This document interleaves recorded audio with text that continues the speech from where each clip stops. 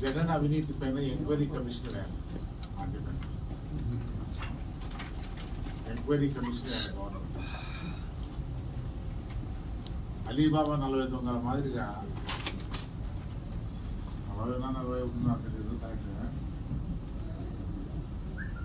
జగన్ అతని ముఠ లండన్ సెక్షన్ల మాదిరిగా దోపిడీ చేశారు. రాష్ట్రాన్ని. రాష్ట్రాలను పథకం చేశారు.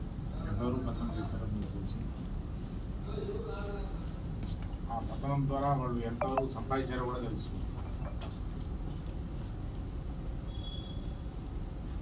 సో ఇంత దోచినోడు రాజకీయాలు కూడా అనేది నాకు తెలుసు.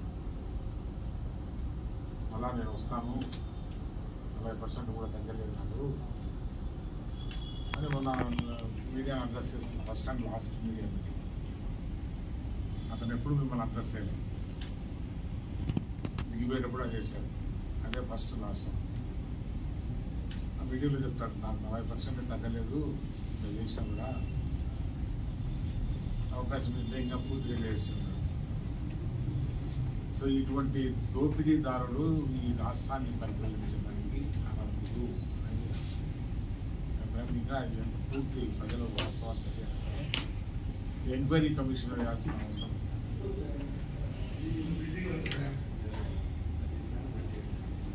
మనం చరిత్రలో చాలా పాఠాలు చూ- చదివాం. చరిత్ర చదివాం. జపాన్ పైన హిరోషిమా నాగసాకి అంటే గడ్డి కూడా మలవనేటువంటి పరిస్థితి ఏర్పడింది. ప్రాంతాల్లో గడ్డి కూడా మలవ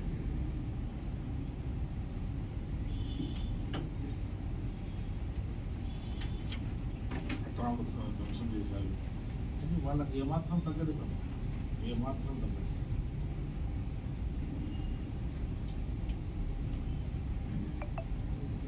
పంతొమ్మిది ఇరవై నాలుగు మధ్య ఇయర్స్ రూల్ చేశారు ఈ రాష్ట్రం. మట్టి దిబ్బగా మార్చేశారు. ఆంధ్రప్రదేశ్ ఒక మట్టి దిబ్బగా మాత్రం వ్యవస్థాన్ని దారుణంగా పడతాం కొంతకాలము ఎలక్టెడ్ గవర్నమెంట్స్ లేకున్నా కూడా ఈ సిస్టమ్స్ రన్ చేస్తాయి అక్కడ సార్.